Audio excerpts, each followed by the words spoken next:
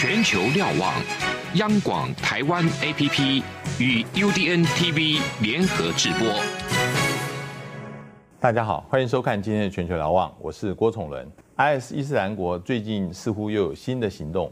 网络上出现一份疑似来自伊斯兰国的录音声明，号召支持者在六月初开始的斋戒月向欧美国家发动攻击，引发西方各国高度警戒。同一个时间，美方也在二十一号出动无人机在巴基斯坦发动攻击，成功的将恐怖组织神学士的首脑曼苏尔击毙。我们今天摄影棚特别邀请了两位贵宾到我们节目来。首先是外交部呃前驻呃利比亚跟沙地的大使赵喜林赵大使。好，各位观众好。另外一位是呃台大政治系的教授黄敏华黄教授。主持人好，各位观众大家好。呃，我想请教黄教授，我们先来谈这一次那个 IS 发布的一个声明啊。呃，声明里面他是希望。他的追随者能够在斋戒月的时候，能够对于欧美国家发动攻击，这个是什么意思？就是说，我们刚刚前面也提到，呃，您您说现在，呃，可能很多时候不是他自己发动的攻击，他是号召他的追随者来做这样的事情，是不是表示它本身的力量已经不像以前了？呃，它里面也提到最近那个拉卡。呃，遭到围攻，他的所谓的首都，他现在也要准备要转移。IS 的情况是怎么样？您谈一下。我觉得，呃，过去这呃大概半年以来，哈，IS 的力量在叙利亚跟伊拉克境内的确是朝向一个他们比较受到大的围剿的这个态势在走啊。那加上看起来，美国、俄罗斯甚至跟这个沙特阿拉伯，其实对于这个叙利亚的这些。问题其实大概都有一个比较看起来是接近的这个路线，所以我觉得 IS 的危机感还是很大的。那这个 IS 现在所做的这个声明，其实去年也有嘛，哈，嗯，那可是看不出来到底有没有太特别，就是经验上它是不是去年这个段时间是不是有太多的呃恐怖攻击？其实看起来也没有看到太大的关联性，所以我的看法是，它是一个比较像希望号召，而且以斋戒当做一个宗教象征的这个意义。来来来来鼓动，那这个反映的是他现在这个势力正在衰落的这个危机了哈。那呃，我我我说一点，就是说，因为中国啊，中国大陆这边举例哈，像去年在斋戒月的时候，其实就有一些问题啊。那这当然跟中国对于这个宗教政策上啊，对于什么样的人可以进行斋戒，或者是说，比如说对学生啊，会对什么有一些这个争议。那其实我认为。同样的道理也应用在世界上其他的呃各地的。IS 可能我看我看法是，因为这个宗教意义上的象征是比较大的，而这里面只要发生在不同的地区发生零星的这种冲突，其实都可以鼓动比较多的追随者来来追随。所以，我我认为是一个实际上他也希望啊呃号召他的支持者能够在其他的地方能够有多一点的行动，来换取他们也许比较多的这个余裕的在在目前受到这个发展困境上，甚至是萎缩的这个。这个这个这个，我觉得他们他们有这个意义在，哎，他这个宣明有这个意义在。是，呃，张老师，那个对我们来讲，呃，我们不是穆斯林，呃，我们在外面我们会觉得斋戒月应该是一个神圣的时间，是大家应该在这个期间里面多祈祷、多冥想啊。是。那为什么 IS 会反而是希望，呃？如果说他自称他是伊斯兰的话，呃，鼓励他的追随者在这个时候采取这个暴力的行为呢？是，我想刚刚黄教授介绍的一点很重要的就是说，他在面临围剿的时候，他必须要把反扑表达出他的一些声势，然后来对抗这个围剿的力量。嗯，军事上可能他会失利，所以他就去号召说，在全面性的能不能。对欧美进行这个反攻，嗯，但是他这里面事实上斋戒月就跟郭主编刚刚讲的一样，他斋戒月是一个很和平神圣的月份，但是在历史上，还有在宗教规范规上，如果你是面临。这个存亡之关头的话，你必须要奋起抵抗。那是不管你斋戒月和非斋戒月。而且穆斯林在前面在穆罕默德圣人的时代就发生过斋戒月发生战争的事情，啊，而且是大胜。所以他我想他有一些政治的意义大于实质的意义。嗯嗯。而且他里他们这种做法的话，很可能显示出来他自己内部有一些矛盾存在。嗯嗯嗯。他既然是宣称说号召各地说我们有恐攻，但是同时又是号召大家起来，好像起义来反对欧美一样。嗯嗯。这表示他力量是不是不足了？嗯嗯嗯。很可能会有这样想。当然，现在还有基地组织。基地组织它现在在很多地方跟 IS 之间是处于一个竞争状态。在叙利亚，他们是两派打得不可开交；在也门也是打得不可开交。究竟他们这个虽然都是呃，都是好像看起来外面看起来是一个类似的恐怖组织，但是他们里面之间是有什么样的矛盾吗？以前是 IS 是从基地分出来的。有可能再合并起来吗？先请教赵大使啊，那个基地组织跟呃伊斯兰国，他们在叙利亚呃其实是两个不同的派系。我们看到那个嗯基地组织就化身成 Nusra Front，呃胜利阵线跟 IS 之间斗得一塌糊涂。然后在也门也有类似的情况，都有武装力力量进去。这两个看起来都是恐怖组织，为什么两边之间这么冲突呢？嗯，是意识形态上的冲突，还是手段方法上的冲突？我另外一个问题是，以前呃，IS 是所谓基地在阿富汗，呃，在那个伊拉克的分部，那它是从基地分出来的，将来有可能这两个还可以会合在一起吗？呃。主编讲的这个基地组织的这些恐怖组织跟 IS 之间的关系，应该是恐怖组织或是基地组织啊，先开始在各地起来。嗯。后来叙利亚问题上面，呃，可能是因为一方面是美国对伊拉克的这种治理的方式受到大部分顺利的人的不满。嗯。再加上。萨达姆侯赛因政权倒了以后，萨达姆政权手底下的一批人，正好这些力量都跟某一些基地组织大家汇合在一起，就是复兴党的人，他们自己就是他们复兴党的军事还有政治的人才，都被他们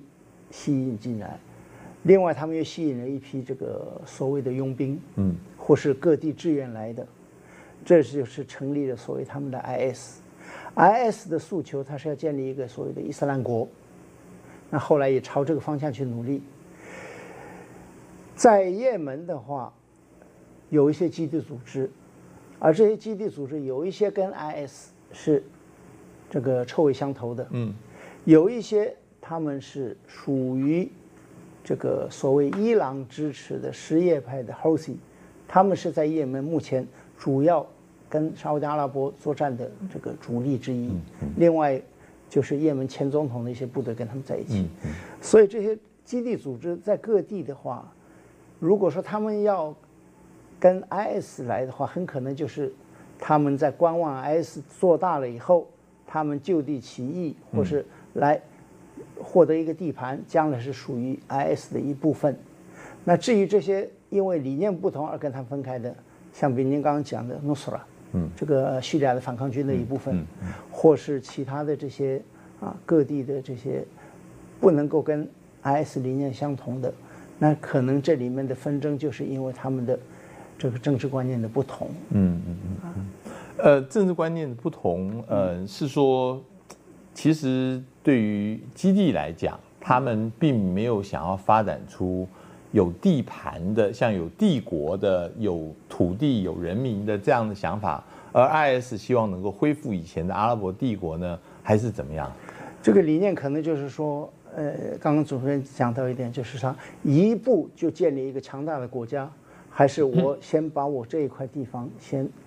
能够把我的势力先做稳以后再去讲。嗯嗯嗯。所以这里面也不是完全的不同，而这里面就有先有蛋先有鸡的这个啊一个一个一个思考的方法了。是啊是。呃，黄教授，你有没有要补充刚刚我们谈的这？我就我我就拿一个比方哈，其实美国在谈这个塔利班问题的时候，曾经提到塔利班跟基地的关系。嗯，那为什么会谈到说塔利班的老一辈的领导人其实不见得会跟基地两个完全是是是相合？原因是因为其实基塔利班里面有很多人，他们认为他们九一是呃呃九一之后遭受到这些攻击，美国把他们挑起来当做主要的对的的的目标在打击，其实很大一块是吃了基地的闷亏。你说事实上他们从来没有打算要做国际恐怖主义的输出，嗯，他们在九一这件事情上，基地其实相对也是被动的，呃不那个呃塔利班相相对是，可是最后他是变成美国把它当做最主要的敌人在打，所以他们觉得他们吃了塔利班闷亏，嗯，呃吃了基地的那个。宾拉登的闷困，可是因为宾拉登在九零年代的那这个就是基地的那个角色，其实有一点像是塔利班可以 reaching out the world，或者是甚至是在宗教上的这个这个这个开的这一扇门，让他们可以去连接到这个所谓的宗教上的去比较神圣的那个这个这个权威，所以他们跟就塔利班跟基地之间的这种关系是非常错综复杂、爱憎交织在一起的。哎，对。我我要问另外一个非常复杂的问题，就是巴基斯坦那个大使那个。这一次美国击毙呃这个呃莫苏尔是在巴基斯坦的境内用无人机，是。我们知道这个美国过去呃曾经有一段时间非常密集的用无人机，巴基斯坦这边抗议说你在我等于侵犯我的领土主权嘛，是。更不用讲说他在巴基斯坦抓了那个呃宾拉登啊，是。这个让巴基斯坦更是恼火，是。这一次事情之后，巴基斯坦这边强烈跟美国抗议。认为你以前已经讲好了不能这样做，你这一次招呼也没有先打啊，呃，这这会影响美国跟巴基斯坦的关系吗？美国很多人已经在那抱怨了，说巴基斯坦每年拿我们这么多钱，其实他的境内都是在庇护这些塔利班，不管你是跑到阿富汗的塔利班，还是在我巴基斯坦境内塔利班，都是同一批人走来走去。您您怎么看这个？呃，从一个宗主国。跟一个独立的国家，当然他必须要出面抗议，嗯，因为你外国不能随意在我的国家里面进行一些间谍的行动，或是一些这个军事的行动，包括无人机的这个攻击或无人机的这个搜集情报。呃，而且这个阿富巴基斯坦政府这样做，它的政治意义跟它宣誓的意义远大于它的实质意义。嗯嗯。他不会对美国说是我就跟你恶化到什么程度，但是很可能他会跟美国保持一个比较冷淡的，因为这个确实是侵犯到我国家的主权了。嗯，但是不要忘记，在巴基斯坦的地缘关系跟阿富汗，尤其它的北边，都是一种部落治理。嗯，而这种部落治理的概念，跟传统的伊斯兰概念又有点距离的，它是以部落长老他们的看法。受到最大的尊重，所以这里面塔利班的形成，就刚刚黄教授讲的一样，这里面有一部分是牵扯到他宗族，嗯，牵扯到他地地地区性的一些关系的，嗯，那这个在阿富汗跟巴基斯坦是不可分的，嗯嗯嗯，所以巴基斯坦在这一方面也受到美国的这个指责或是怪罪，说你拿我们那么多援助，结果你这一块地方。他没有办法去理清这块地方的，啊，这同样的还有其他中亚地区也是发生同样类似的事情。嗯，那阿富汗目前最众多复杂，就是因为它本身不同的部族有不同的主张、不同的理念，而导致这个阿富汗变成一个很独特的国家。嗯，黄教授，我最后想问你，也是另外一个邻国，就是中国大陆。嗯呃，前面我们讲到，希望能够促成。阿富汗的和谈，其实美国这边要做，呃，他会发现很多反弹。但是中国大陆前些时候把呃阿富汗政府以及呃塔利班都找到新疆去开了一个会，由中国大陆做东道主啊，似乎两方也愿意见面。你觉得中国大陆第一个他在作为主持和谈会比美国更容易一些吗？第二个？他的目的又在哪里呢？我觉得在呃他的他的角色上以及他的目的上，中国大陆都有很大的优势哈。先从他的这个角色上哈，因为那个中国大陆其实常年是巴基斯坦最最坚强的一个盟邦。事实上，他跟巴基斯坦之间的关系还不弱，就是美国跟巴基斯坦事实上都有双方在互相打算盘，而且。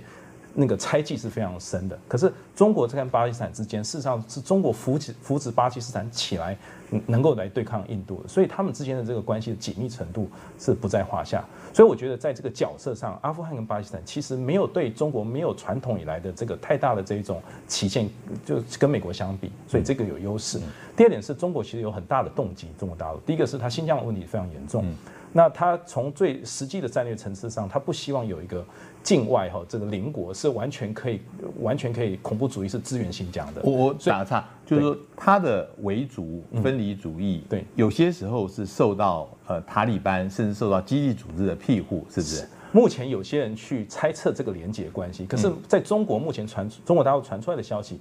没有看到很有规模的，哦，这一点是这样。可是他们仍然担心这部分邻国之间的这个这个问题啊，所以再加上，其实中亚有些地方是，即便巴基斯坦或者是阿富汗中央政府，事实上都没有办法 reaching out 的，那个地方才是这个中国中国大陆很担心。所以我认为，对于这两国政府的交往有这个反恐上的这个意义。第二个就是“一带一路”，嗯，这两个国家恰恰是现在基础建设最需要发展，而中国大陆目前就是这个产能过剩，往。